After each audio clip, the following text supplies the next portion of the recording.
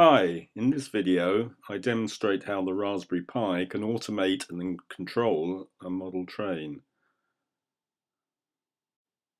The Pi is connected to a Hornby Elite digital controller using one of the Pi's USB ports.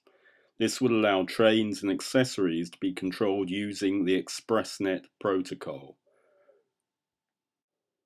The train's position is detected using a small sensor fitted to the track. The sensor is a Hall effect unipolar switch which is activated when the south pole of a magnet is passed over the top of the device. You can see here where the magnet is fitted to the underside of the train. The Hall effect switch is connected to a microchip 16-bit I.O. expander. This device acts as an interface between sensor and the Pi it would be possible to read up to 16 sensors with one of these devices, and in fact, eight of these devices could be connected to the Pi using its I2C interface. Okay, then, that's the hardware.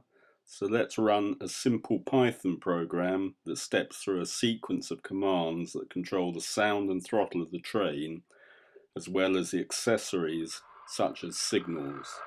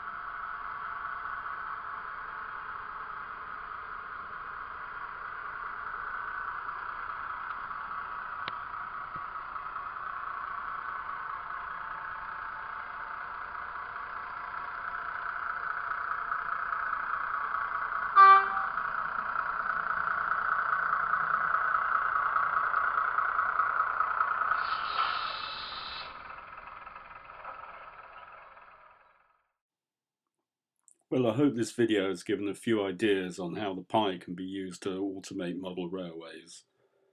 And thanks for watching.